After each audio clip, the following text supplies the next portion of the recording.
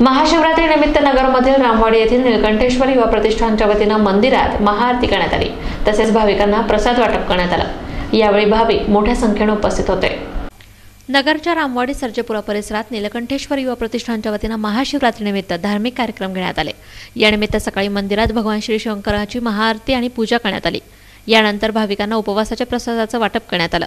यावेळी मातंग एकता आंदोलनाचे चंद्रकांत काळोखे सार्थक साबळे संजय साळवे सुनंदा हिवाळे संदेश साळवे ऋषिकेश शिंदे ओमवाग चौरे अजिंक्य उबाळे महेश साबळे तेजस शिंदे वेद साबळे आदित्य उबाळे जयवाग चौरे मंगेश चखाले विकास धाडगे आदी उपस्थित होते. काळोखे यांनी या धार्मिक कार्यक्रमाबद्दल प्रतिष्ठानच्या युवा सदस्यांचं कौतुक केलं. नमस्कार मी चंद्रकांत काळोखे.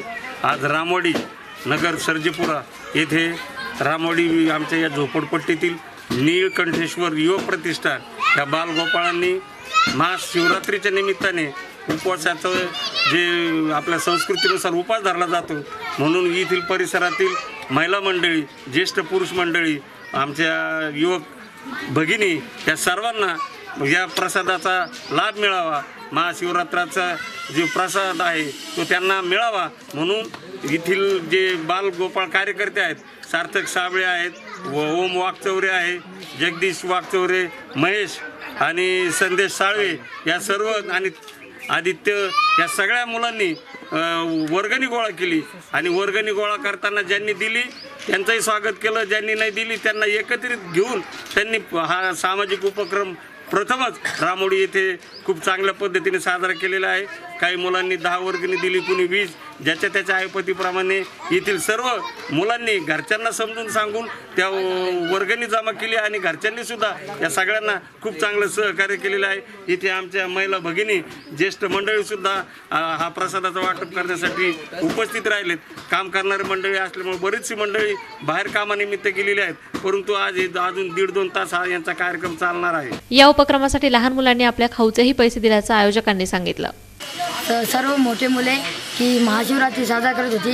कारण म्हणून कारण की आम्ही आम्ही सर्व छोट्या मुलांनी मिळून वर्गणी गोळा केली. कोणी पन्नास दिले कोणी दहा दिले कोणी शंभर दिले. जे गरीब आहेत त्यांनी काही नाही दिले. पण ते सगळे आमच्या ह्याच्यात ते आमच्या संघ आहेत. आता हे सर्व सगळे उपस्थित आहेत. तर आमचं ग्रुप नीलकंठेश्वरी ऑपरेशन आहे. तर आम्ही सर्वांनी मिळून वर्गणी गोळा करून आम्ही प्रसाद ठेवला. आम्ही केळी वाटप आणि राजगिऱ्याचे लाडू वाटप क करणार आहोत. सर्व मोठे मोठी मुलं ही महा महाशिवरात्र साजरा करत असतात. पण या याही वर्षी हे हे जेवढे लहान लहान मुलं आहे ना परवाही त्यांचाच प्ला प्लॅन झाला की आपण हे महा म- मोठ्या मुलांसारखी महा महाशिवरात्री बनवूया.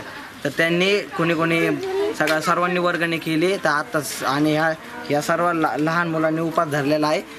आम्ही सगळ्या मुलांना सगळ्या मुलं आणि सगळे जमा केले. कुणी दहा कुणी वीस कुणी तीस कुणी पन्नास कुणी कुणी शंभर असे दिलेले आहे.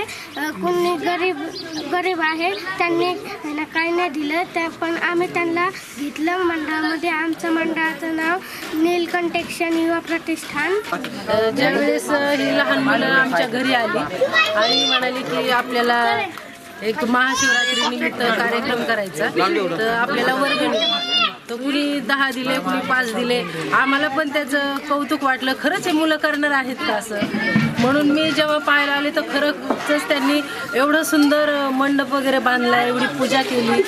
आणि त्यांनी केळीचं त्यांच्या स्वतःच्या पैशामध्ये एक पंधरा दिवस हे करून त्यांनी पैसे साठवून आणि त्याची केळी आणि राजगिऱ्याचे लाडू हे आणून सर्वांनी उपवास धरला. आणि त्याचं जे उपवासवाल्यांना त्याचं वाटप केलं ते आम्हाला पाहून खरंच एवढं कौतुकास्पद वाटलं. महाप्रसादाचा शेकडो भाविकांनी लाभ घेतला.